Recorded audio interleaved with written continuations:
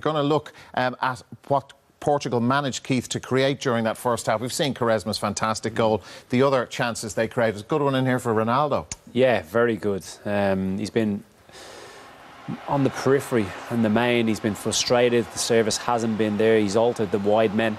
Uh, he gets into a really good area here, and it's a decent effort. But for a player of his capability, you're just surprised it doesn't rocket into the top corner, especially with the type of form that he's been in. Um, but you, again, you can see the Iranian defenders, the way they marshal around it. Um, the white shirts back, very, very difficult to break down. And I don't think this is the breakdown in communication with the, with the goalkeeper Yeah. as well, Liam, wasn't it? Yeah, this is when they squared up to one another, yeah. Uh, chance, uh, but he doesn't get it on target. That really seemed to rattle him, Liam. You know, probably on And the then he dropped his next well. cross, didn't he? Yeah, He dropped the next yeah. cross. I don't know whether we can show it, but they squared up to one another. And then the, in, within five minutes, he's come for a cross and dropped it, and very nearly, it's very nearly ended up in the back of his net. I think, uh, I think when they did square up to one another, it unnerved the goalkeeper a little bit, but he got he regained his composure.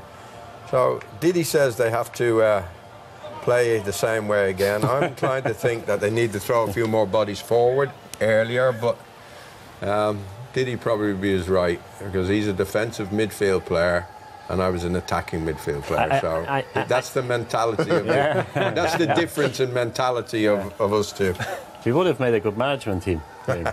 It's No, I, too I- late. I just, I just worry for them. If, if they open up, and, and I think Queiroz is, is a shrewd manager, if they open up now and, and maybe commit players forward, I worry for them they get hit for four or five. And there's, uh, you know, one nearly is still in the game with 20 minutes to go. So I expect much of the same in the first 25 minutes uh, as we've seen in the first half.